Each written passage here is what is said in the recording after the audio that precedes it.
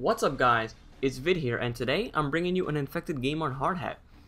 Now, I'm, I'm doing this video because I just I just need to get this off my chest. I need to like rant it out and hopefully by doing so it'll help me calm down, help me relax and you know maybe between the time I do this video and upload it I just be completely at peace and woosahing and everything.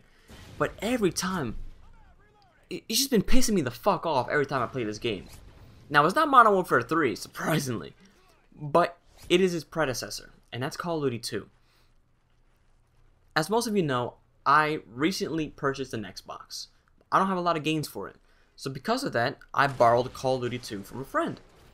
Now, I don't have live yet because I'm not getting live until Halo 4 comes out, and there's no point in me just playing Halo Reach Online and you know, for, for me, like I, I just view it as a waste of money at the moment right now, or a waste of money related to months. And you know what? No, I'm not getting it yet.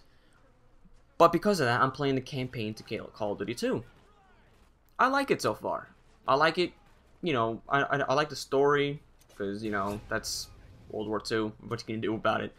But I'm playing it on veteran, and that's where the problem starts the AI in this game, the squad mates, the friendly soldiers, are the most retarded motherfuckers you can ever have. How the hell are you going to have a firefight with a German soldier when you have a haystack in between you and both of you are taking cover with the haystack? How the fuck are you... How, uh, uh, do you... it's it's mind-boggling. It, it it really is, and I know it's computer. I know it's pro like it's pro you know programmed and and shit like that. But there has to be something where you can at least have one soldier just like in a moment of self-awareness just be like, you know what? Fuck this and just pop out and just pop out of cover and just shoot the motherfucker in the head. Like how difficult is that?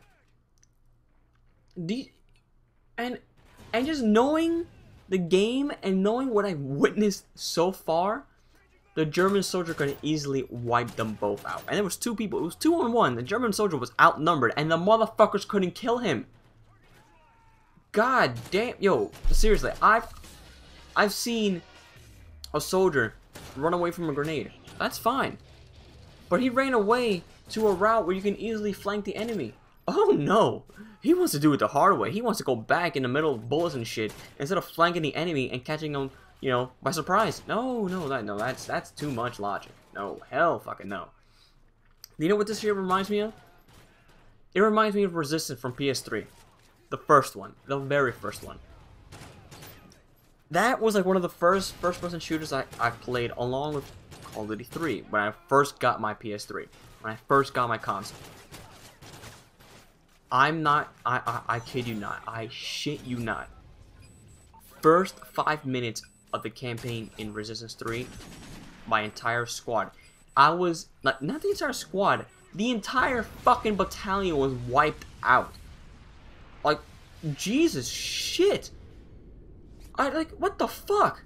And I, I put that game down. I, I didn't play it until I started getting into the multiplayer for Resistance that was a shit, and that's why that's why I got back into Resistance. But it's the same situation, and it's pissing me off. I, I'm I'm I'm fighting the fucking Nazi army by, by myself. That's how it is. You know, it's like I'm holding I'm holding the, like the soldier's hands. I'm telling you, you need to aim this way, and that's and you need to shoot a bullet. You need to pull the trigger. That's how you kill someone. But I, it, it, it's just it, it I, I can't handle it. I really can't. It's just, wow. Jesus.